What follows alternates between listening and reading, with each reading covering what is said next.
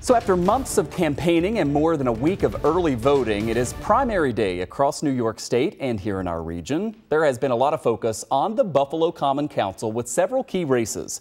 There are Democratic primaries today for five of the nine seats. Three of them are incumbents running for re-election, but two of them are open seats, and that includes the Ellicott District, thanks to the retirement of Council President Darius Pridgen. He's been on the council for the past 12 years and he joins me now live here in studio to talk about what's next for the Common Council on this election day. Reverend Pridgen, it's always great to see you. Uh, we dissolved your picture there out, you said you were not, you're not doing a disappearing act.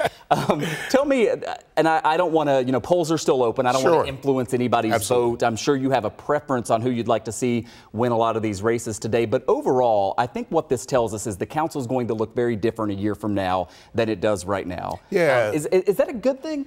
Oh, I think it's always a good thing. You know, uh, we have a democracy.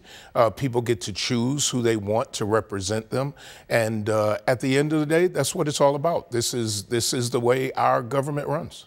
What will be the most important issue or couple of issues that we'll face the next council?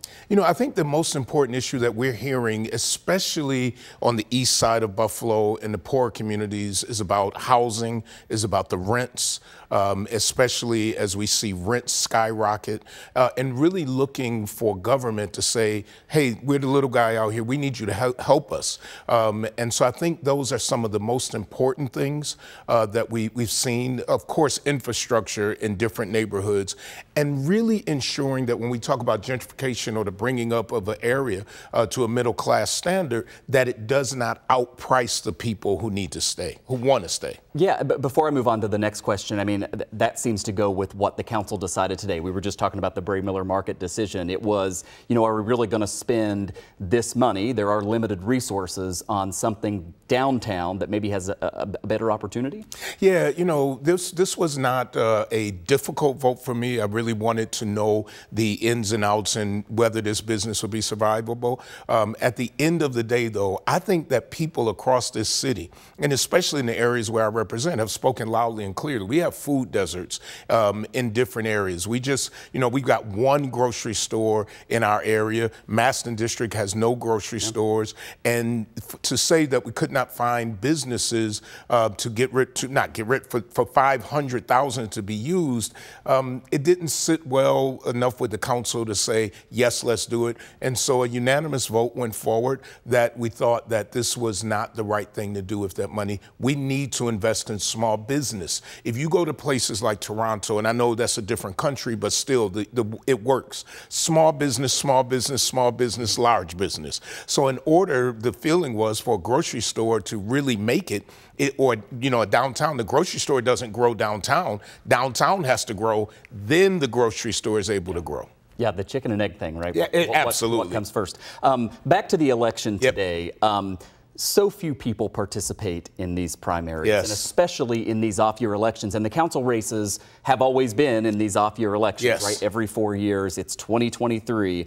Um, Unfortunately. How concerning is it that, I mean, this is a consequential thing. Even for our viewers right now, the majority of whom do not live in the city of Buffalo, mm-hmm. Buffalo government impacts you and affects Absolutely. you. And so few people will determine these races. Yeah, when you have a low turnout right now, um, it's being reported that uh, Masten, as of 1 o'clock, had 25%, where the other districts had about 5%. Wow. And so at the end of the day, you're talking about a very small amount of people choosing who you want to represent you. Yep. And then people say, well, you know, it doesn't make a difference. Trust me, every single vote counts. And in these off years like this, when you're talking about how important the city of Buffalo is to the surrounding suburbs, but to the city of Buffalo. And if we're ever going to continue, if we are going to continue to grow, we have to have representation. And the people have to know how important their vote is and to not just sit home and hope it gets done. Uh, I was watching the video feed earlier of the event that Buffalo Mayor Byron Brown had. I saw that, that you were there, um, and he was asked about these rumors. I'm sure you've heard them because I've heard them from many different politicos in the city that he may not serve out the rest of his term, that he may have another job lined up. Uh, I want to give the quote. The mayor said, My intention is to fill out my four year term, but you never say never. um, he was very clear. I'm focused on being mayor. I'm excited to be mayor. I want to keep being mayor. Um, but if he were to leave early this year, you would become mayor because you are the council president. Um, yes. Is that a job you would want? Um, you know, I never say never. I knew what I signed up for when I became council president. Mm-hmm. Um, and at the end of the day, you're here to serve the people, and no matter what seat you're in. And I know that might sound, oh, that's really political answer, but it's the truth. It's what mm-hmm. I've, how I've operated for 12 years. Uh, if the mayor left, a lot of people don't realize it's not the deputy mayor that becomes the mayor. Right. The common council president takes over the role of the mayor until there's a, a special election or election. Um, and so if the mayor left, I mean, I've heard the rumors too, trust me. I've never heard anything concrete. The mayor has yeah. never called me and said, hey, you know, I'm leaving next week. Yeah. So every other week, I want you to notice there's a new rumor, um, and it's out there. I mean, it's been published, you know, the rumors of upstate, the rumors of different places. But to this moment, I have not had any concrete proof. But hearing that response, you never know. Yeah. Um, I've only got 30 seconds left. Okay. What's next for Council President Darius Pridgen? I mean, after November's election. Yeah. Um, well, January, I'm, I'm there till January, and what's next is I'm going to sleep in for like two weeks, and then nice. then we'll see. Maybe not have as many phone calls from Channel Two asking you to come on and talk about it Absolutely. Council President, good to see you. Thanks good for coming Good to be in. here. Appreciate it.